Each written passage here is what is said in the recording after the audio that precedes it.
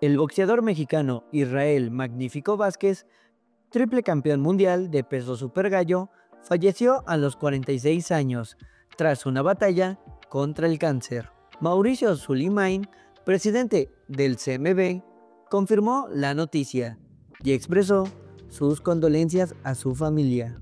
Vázquez fue conocido por su poder y velocidad, además de su histórica rivalidad con Rafael Márquez.